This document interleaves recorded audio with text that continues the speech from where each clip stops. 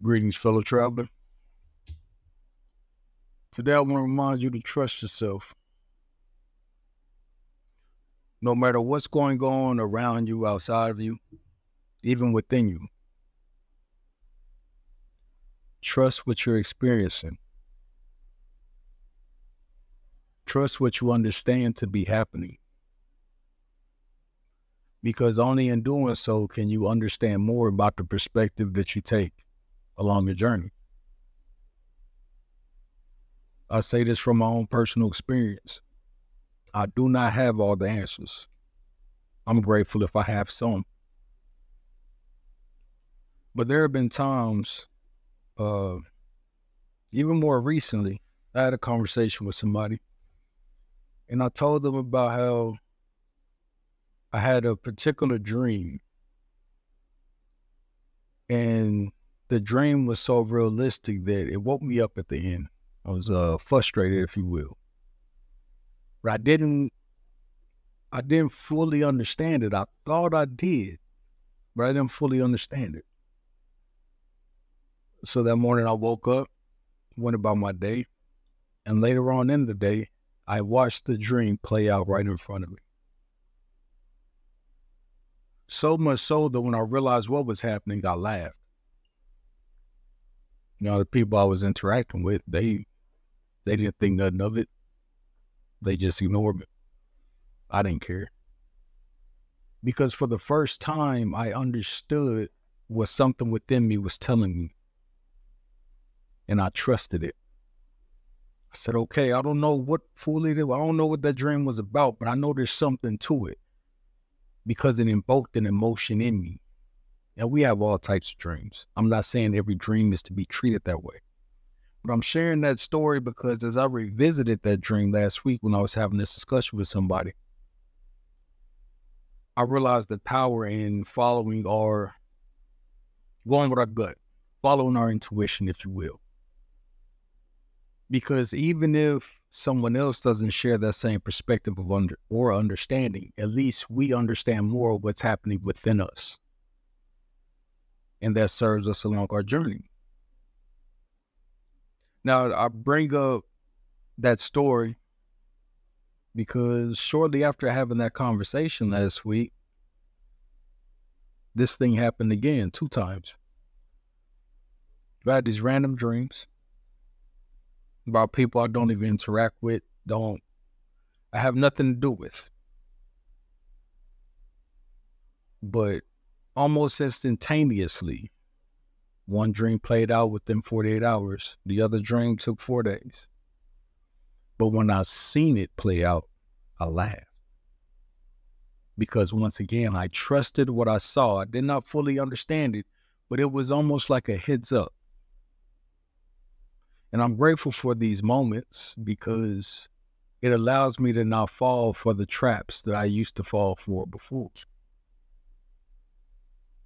that allowed me to have gratitude for some of the things that I've experienced, uh, some of the people that I've experienced, and some of the environments I've experienced, even some of the beliefs that I held that I experienced. And I realized we're foolish. See, the more that I trust myself along this journey, I give myself grace when I misstep or take the the incorrect path or the incorrect move. It's fine. It's simply correct.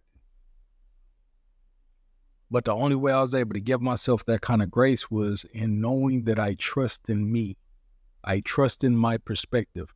I trust in what I know I'm witnessing or I'm engaging with or I'm experiencing. When I had the least amount of trust in myself, no matter what situation I look at, that's when the element of regret came about. Because something in me always knew what needed to be said, what needed to be done, what needed to be handled. So the more I go on my journey, the more I trust myself. This is not about me sharing a bunch of stories about myself it's a reminder that just as I have uh, certain obstacles or seeming obstacles that I placed in my own way to stop me from trusting myself. I'm sure each and every one of us have those. So it's a reminder to trust in what you believe. Trust in what you see. Somebody treats you a certain way, good, bad, or indifferent. Trust in what you perceive and allow that to unfold. Meaning, there will be some times where we trust in ourselves and we see, oh, okay, I believed and I trusted in myself. The outcome wasn't what I expected. I could have handled it differently. That's not a failure. It allows you to understand uh, where opportunity for shifting a perspective is for you. The beauty in it is building a relationship with yourself so that you trust yourself. You're not always going to be correct. I'm not always correct. Made peace with that a long time ago. But the more that you trust yourself, the more you can say, you know what? This might not suit well with everybody, but it makes sense to me. So that's what I'm going to lean on. The more you do that, the more peace you find within yourself. And the more that you find that peace within yourself, you will not only have an amazing amount of trust in yourself, but you'll also be able to see when others don't trust themselves. Now, when I seen this play out more recently in one of the dreams that I told you, uh, it was interesting. The dream gave me a heads up of somebody uh wanting to reach out to me that I don't, I don't communicate with them at all. They want to reach out to me. And in this dream, we had some kind of rapport, but I'm knowing that this is not reflected in my waking life. Even while I'm in the dream, I understood that in this world, this world that we call real, that this dream doesn't make sense. And then when this person reached out to me, I laughed. I ignored him, but I laughed because what once would work on me had no effect. When I didn't trust myself, they were able to play certain games and manipulate me in a certain way. But the more that I trust myself, I'm able to see through it. I'm able, I'm able to see past it. So much so that I feel bad for the individual because I realize that their their way of operating on their journey is a form of manipulation, not trusting themselves, but more, they don't trust themselves.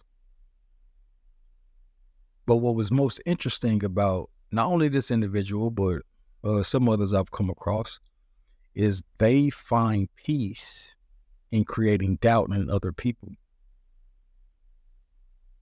See, if they can always get someone to doubt, or a majority of the time get somebody else to doubt what they believe, then why would they even question them? The things you learn on this journey. I share these elements of what I've experienced over this past uh, week or two to remind you to trust yourself. That's it. Because there will be times that that's the only person that's going to believe you. It's a hard pill to swallow at times. But if you know that you can trust yourself, you're in good company. Own that. Love it, be grateful for it. Because the more you sit in that place, that comfortable place with yourself of knowing yeah, it's a tough lesson to learn, but you learned it. You see it. And you understand yourself more. You understand what your inner you is telling you. Some people say intuition. Sometimes it's a physical response that you don't even understand or, or just ignore for so long you don't even realize it's still there.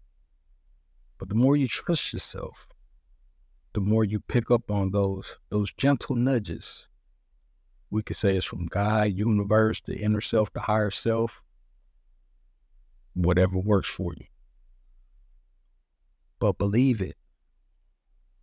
And even in times where you believe it and you see that all that may that that belief or that thought might need some tweaking. Or maybe I see a better way and I can operate with that.